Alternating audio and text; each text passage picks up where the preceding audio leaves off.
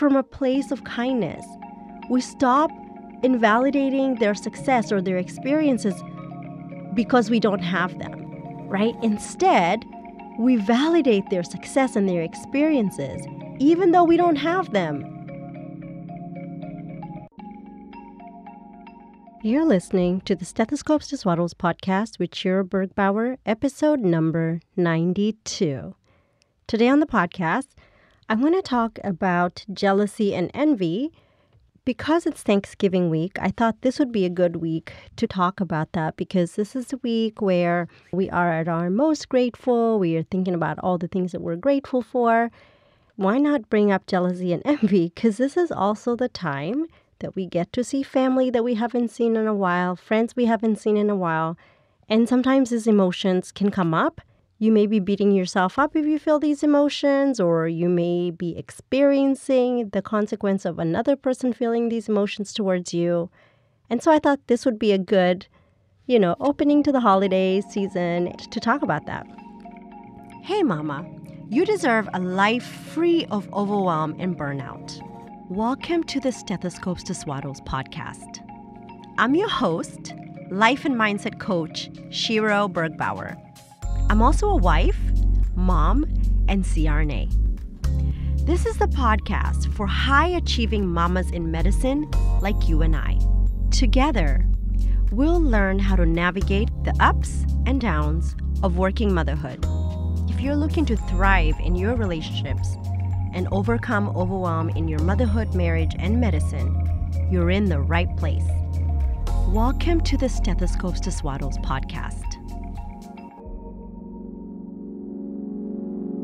So, before I begin, I wanted to talk about the definition.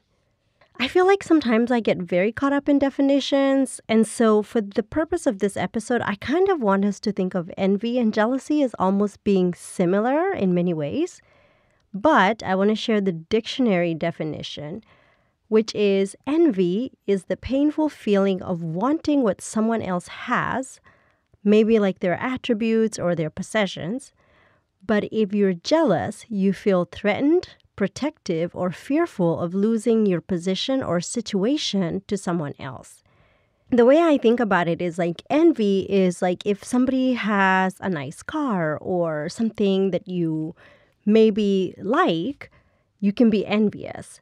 Jealous can be like if you, for example, have a friend and somebody else is friends with your friend, and you feel like maybe that person is a threat to you because you're afraid of losing your position in your friend's life. So that would be more jealousy, right? Like, in when we get in the woods about the definitions, most of the things that I've read about jealousy, it's like usually there has to be a third party or a third person or a third thing in order for their the threat to exist.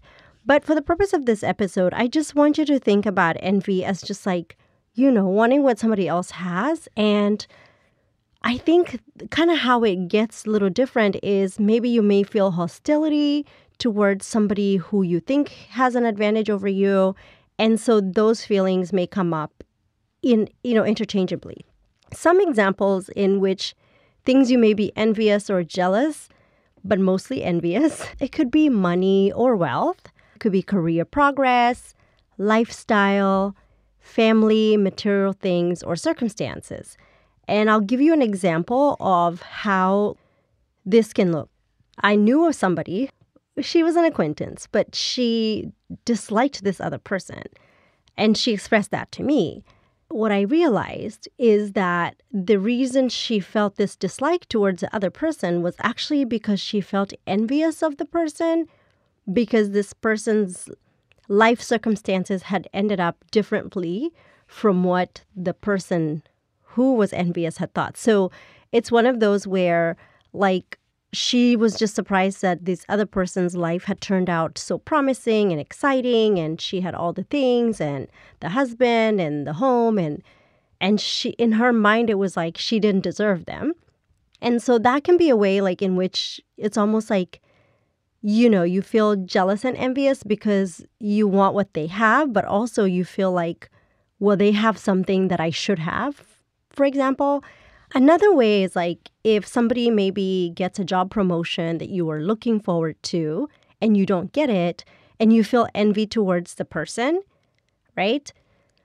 Or if this happens a lot on social media when you look at people's images, then they're curated images and their seemingly picture perfect lives. And you're like, oh my gosh, I wish I had that. It's not fair. This person doesn't even work hard as I do, and I have, you know, more than they do. And for most of us, it's usually it's not that we want their exact life. it's like we want the life that we have right now with the extras, right? And it could also be just like envy.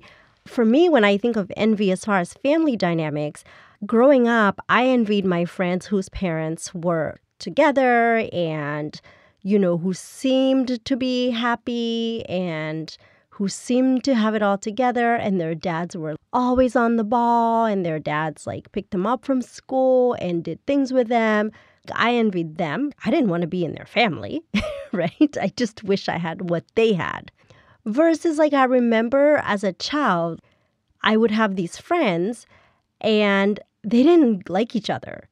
And so it was almost like weird because I felt like I was always fielding these like people from each other because they didn't like each other, but then they felt like they were competing for, I guess, a role in my life. So I think that's more jealousy. But I just want to offer you like, if you find yourself feeling any of these emotions, like you're just human, like that happens to all of us. But I wanted to kind of share something that I read from Bev Aron's book. And I believe the title of the book is Believing on Purpose. I'll link it in the show notes. But she said something that really struck me. And she said, Any envy is wasted. It means I'm living in other people's business, neglecting mine, wasting my possibility for joy in that moment. So when I think about a, a model, right, the circumstance in the C line can be like the fact, like so and so has this car, for example. And then we can look at the thoughts because the circumstances are things that we can literally prove exist, right? Like the existence of the house that they have, or the car that they have, or, you know, the number of children that they have, or, you know, their spouse, or whatever. Like we can put that in the circumstance line of our model. And then the thoughts can be, you know, I deserve more than her or him, or it's not fair, or it could even like simply be like just the wishful think like I wish I had his life or her life, right? Like I think we've all kind of had that moment where like, oh, it must be nice to do this. And I kind of wanted to like step on a soapbox here for a second because I do not like that phrase, like, it must be nice. Because most of the time, it's not well intentioned. And I'll tell you why that is the case. So, I've mentioned on the podcast that earlier this year, I decided to step down from a full time role in my primary job to focus on growing my business. And so that looked like going per diem, working one day a week in anesthesia there, and then working outside of that facility with more flexible hours so that I had time for my business. And the first few months, every time I went to my main job, which I've worked there for 10 years, people would say to me, must be nice to only work one day a week. Now, I'm not saying that these people are jealous or envious, but I really had to like coach myself on that because I found myself getting very irritated when people would say that to me. Because to me, they were assuming that I have this like, and I never presented myself that way, but they, it was like they were assuming that I was just like you know, living the lady who lunches life. And let's say like that was really the case. I think for them to say that to me wasn't like, oh, congratulations, you're living the life. No, it was like, well, it must be nice you're living the life while the rest of us work five days a week. But that discounts the work that I'm doing in my business, in private practice, like all the things that I'm doing to grow my business, right? It it means that I have this time to focus on my business, but I'm not sitting on the couch watching Netflix all day. I'm actually working. So I think when we say to people, like, must be nice, even when we mean well, it just like it it dismisses the amount of effort that they're putting in the things that they're doing. So, and I'll tell you like a different even perspective of this. I have this friend who she she works one day a week. She is like hands-on mom, takes care of her kids, does all the things. She is like all hands on deck with her kids. And she's kind of in the same situation as me where she works one day a week. And when people say things to her, and they've said it in my presence too, to insinuate that her life is so much easier because she only works one day a week, to me, that just comes across as like envious because you're invalidating what this person does the rest of the week, right? Like you're not paying attention to her life.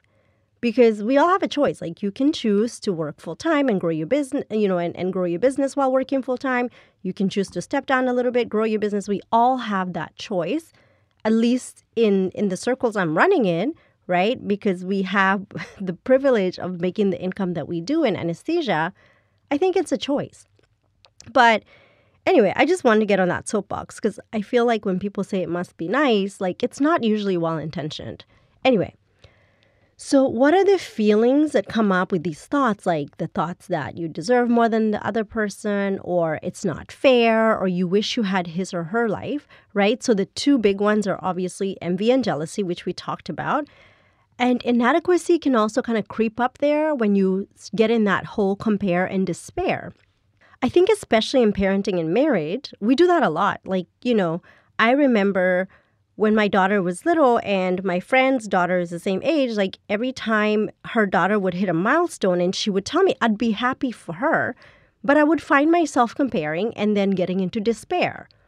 And then I was on the giving end of that compare and despair, where my daughter was meeting certain milestones and I would be sharing them with other people and I could notice like it was like I didn't say it to like brag about my daughter, but then when I did it and their kid hadn't accomplished that, I could see how that could be received in a way like, well, my kid hasn't done that. Like, I don't want to hear about it.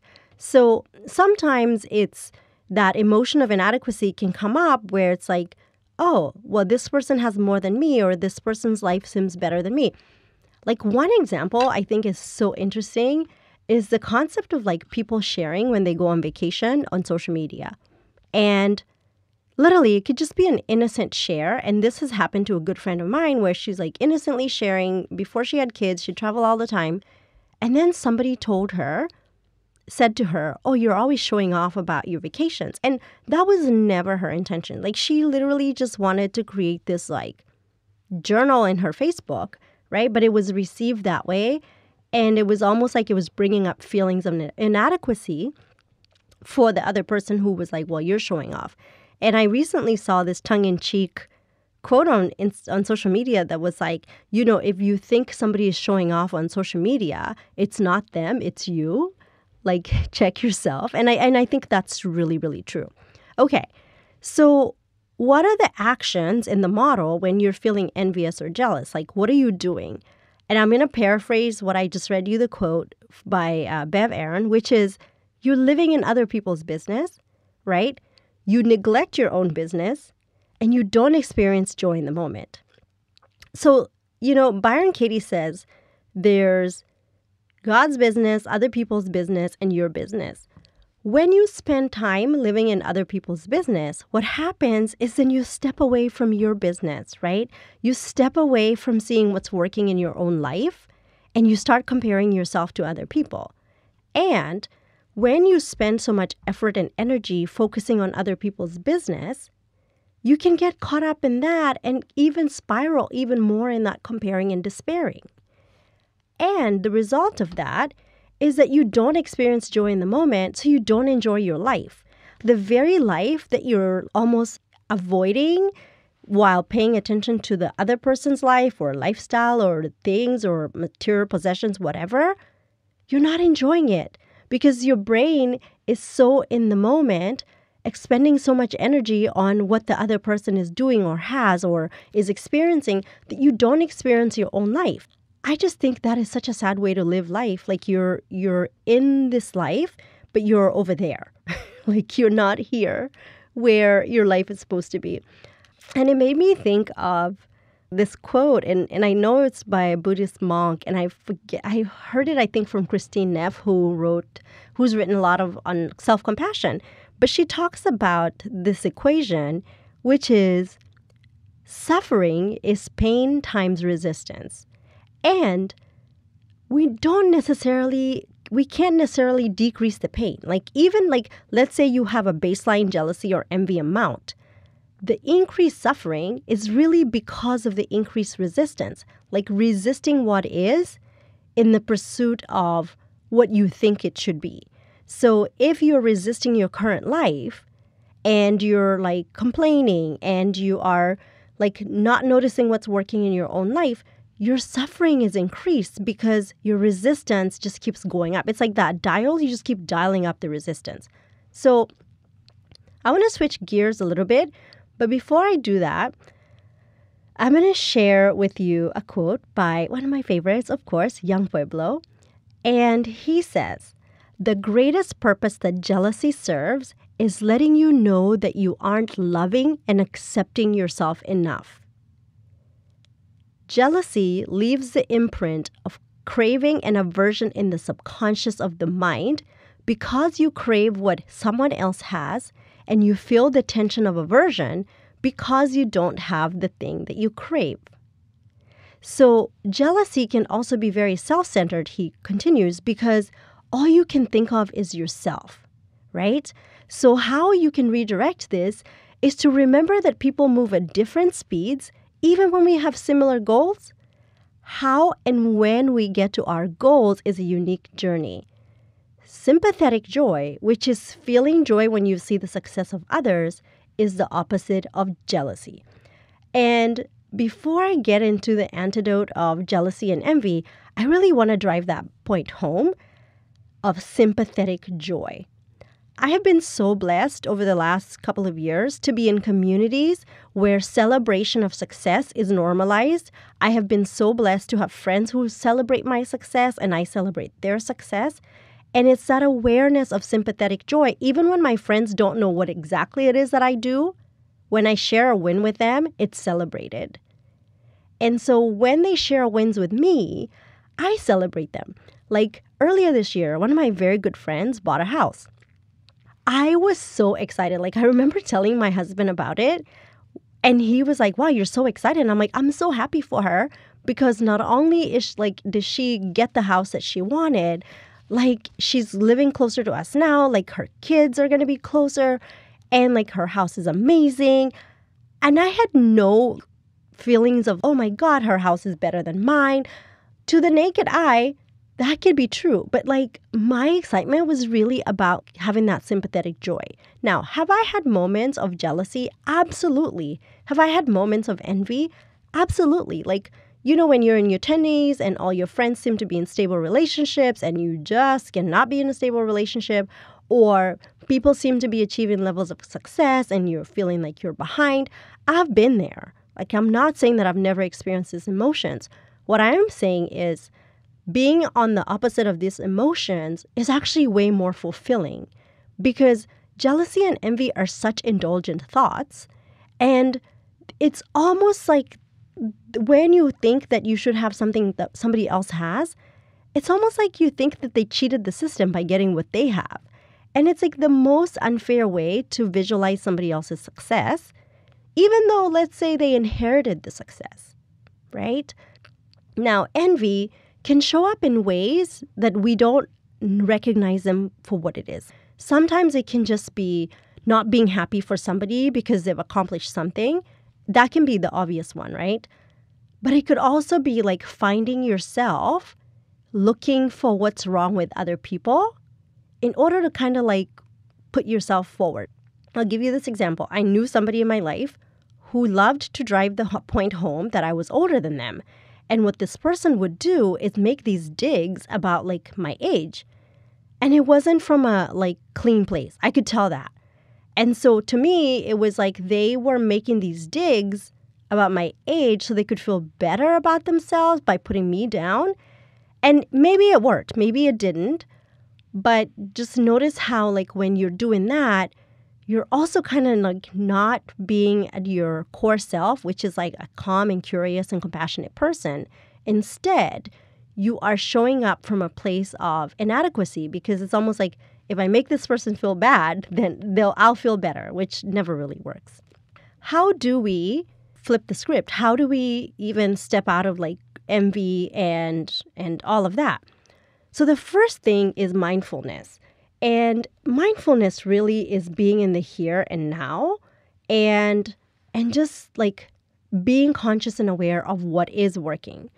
Because when we are in envy and jealousy, we don't solve for how we can make our lives better, right? When we are in jealousy or envy, we are so indulgent in, well, it's not fair or things aren't working my way that we don't solve for how we can make it better. When we are mindful, when we are fully present, aware of where we are and what we're doing, and not overreacting or being overwhelmed by what's going on, we can be in the here and now and appreciate everything that we have when we bring awareness to what we're directly experiencing, right, we're being mindful. And when we teach our brain to be mindful, we're literally creating changes in the brain, but we also wake up the inner workings of our mental, emotional, and physical processes. So I want you to think about like, let's say you were thinking about somebody has something that you don't have, or you know, you don't like somebody, they're prettier than you, they're taller than you, they're whatever. And I say to you, Notice the ground that's holding you up. Just being in the here and now, like notice the chair you're sitting on, notice where you are, right? That brings you back to the present. Like instead of wishful thinking and this is what I should have, this is what they should have, da da da da. Like coming back to here and now can make your brain like reset. Like, okay, maybe it's time for me to focus on what I already have right? So mindfulness is really coming to that. And then the next step is practicing gratitude. And like I said, this is a wonderful week for us to sit in gratitude, but it's also a week where the opportunity for envy and jealousy is very high. What I want you to be aware is being in gratitude doesn't have to mean like making these displays of, you know, I'm grateful for all these things and telling everybody. It's literally just like being thankful and being willing to show appreciation and for and to return kindness. So, you know, when you're at the Thanksgiving table and you feel pressured to say you're thankful for something, you could just be thankful for yourself, right? It doesn't have to be other people or material things, or it could be the gift of health, the gift of being here, the gift of having friends and family. You know, I always think like, with my family, like we don't we, the proximity for us is like a thing, right? Like my sister lives in Canada, my dad lives in Canada, my mom lives out of state, my brother lives out of state, my in-laws live in Europe. Having us all together at the same time is almost impossible. It is possible, but it's just like takes a lot. And so I think in the moment, right? I could be envious of my friends who have family close by, or I could be grateful that even though we don't have actual like family of origin close to us, my daughter doesn't ever feel that she doesn't have family because we have our friends who are like our family. So being grateful doesn't mean I go out there and look for superfluous things to be grateful for. It could just be like being grateful that we have an amazing nanny who is like family to my daughter. And being grateful for public transportation and airplanes and, you know, that bring Oma and Opa from Europe to visit. Like that's what I'm talking about. Because when we focus on what's working for us, right? When we go on the social medias and we see the people doing the things, we're not busy thinking about how their life is much better than ours because we're anchored in our own lives and what's working. And I always think you can't solve for your life when you are in an emotion like jealousy or envy, right? You can't solve for how to create a business or how to increase your income or how to buy more furniture if you like somebody else's furniture. You can't solve for that from a jealous or or you know, envious place, right? So come back to this here and now and practice gratitude so that you can solve for it. The third thing is self compassion, right? We've talked about self compassion over and over. And the reason I bring this up is because if you find yourself envious or jealous, it can be very easy to be so hard on yourself, like, oh, like do better, right? And being so hard on ourselves. But I just want you to remember nothing's gone wrong. Like, you're just a human with a human brain who tends to look at what others have to compare, right? So that's normal. It's okay that that happens to you because you're human. It's part of the human experience. Be kind to yourself, but also being self compassionate can be the antidote to jealousy or envy because you stop thinking something is wrong with you or something isn't right because you don't have or you're not. Right? You accept who you are in the here and now. The fourth one, the fourth antidote is emotional maturity. And the reason I, I kind of put it on its own is I wanted to share six signs of maturity, as Yung Pueblo describes in his book Clarity and Connection, which I will also link in the show notes. He says the six signs of maturity are one, being open to vulnerability, two, learning and letting go, three, seeing more perspectives than just your own, four, accepting responsibility for your happiness, five, prioritizing practices that help you grow. And six, pausing to think instead of reacting honestly with yourself and others. If you are in emotional maturity, you can see how you accept responsibility for your happiness and not expect that the things or or the people that they have that you don't have that you wish for and you're envious for you don't think that that's what's going to create your happiness. You create that happiness for yourself in the here and now. Number five is kindness, and that is kindness to ourselves, but also kindness towards other people. Because when we can show up in loving kindness towards other people, then we honor their achievements, we honor their accomplishments, we honor what they have from a place of kindness.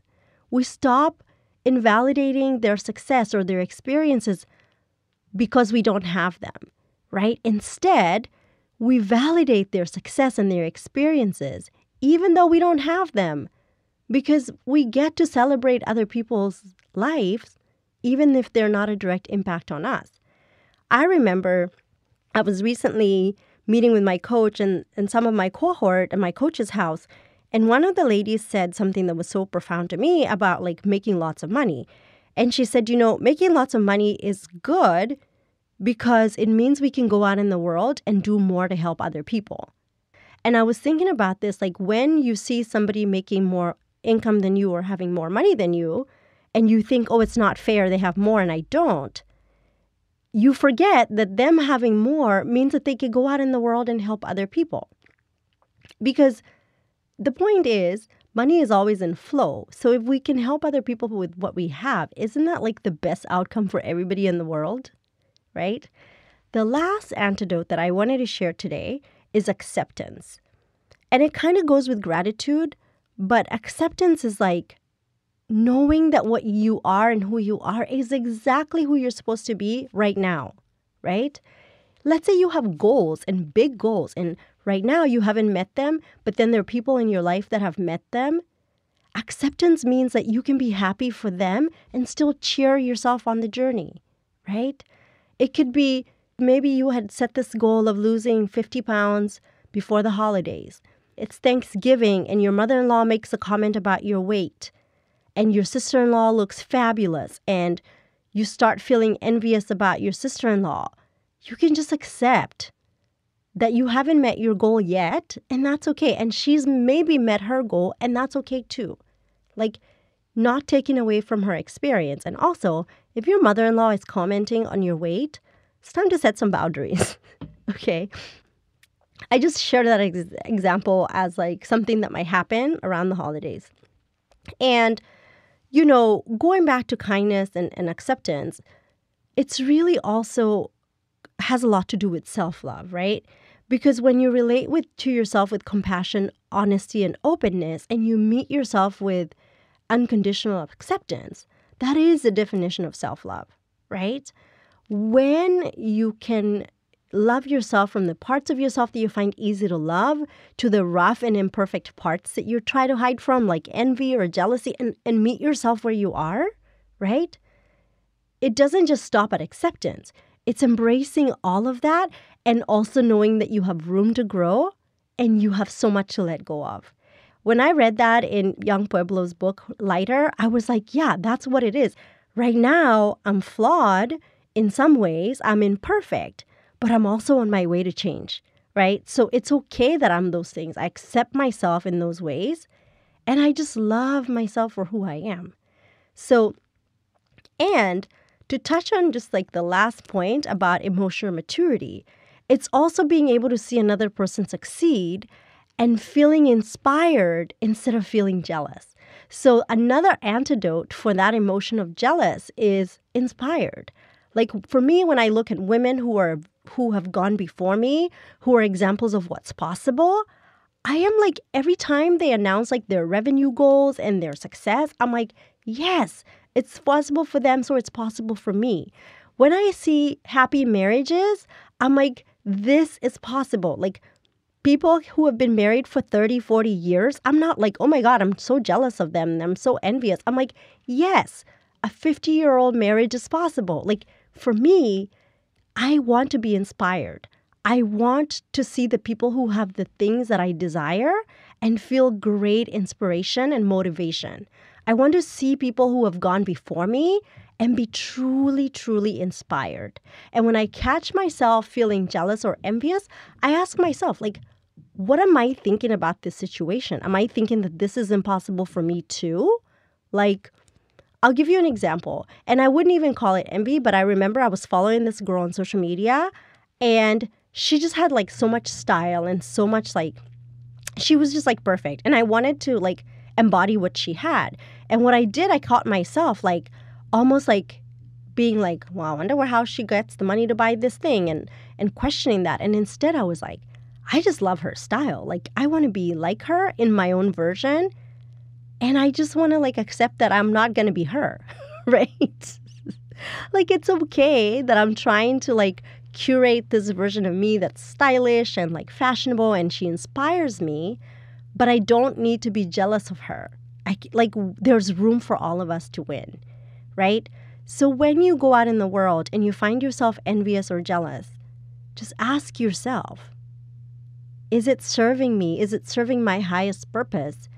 for me to want what that's, this person has, or for me to even have this thought that they shouldn't have what they do have. And I'm going to tell you, like, if you have a thought that somebody shouldn't have what they already have, you're just arguing with reality, right? You're just increasing your suffering because you're increasing your resistance. Resistance is actually arguing with reality. They already have the things, they already have the husband or the house or the things that you're envious of you thinking that they shouldn't have them is just increasing one person's suffering, yours. So choose to be in acceptance and self compassion instead, and choose to be inspired. Choose to believe, like, oh, it's possible for them, therefore it's possible for me. You know what I mean? Like, it is so possible for me to have the life that they're creating. I don't have to hope that they fall and trip and break their ankle. Because I, when I was a child, like when somebody had something I wanted, I'm like, well, I hope something not nice happens for them, which I'm being truly vulnerable here. But it didn't happen. And then I was still wishing I had the thing that they had. In this case, it was like this beautiful bracelet, which now I'm like, I can buy all the bracelets, right? but like when you find yourself there, be okay with being a human who has those emotions, but then set the expectations for yourself to do better, show up better. So I hope you have a great week. I hope you get to be with your family and share and break bread and have a wonderful time this week. For you who celebrate Thanksgiving, if celebrating Thanksgiving is not your jam, I totally respect that. I think in last year's Thanksgiving episodes, I talked about like just understanding the history of Thanksgiving and and being respectful of those who choose not to observe it. So if that's you, I still want you to think about like being grateful in this week when it's all the rage, and then continue to think about that.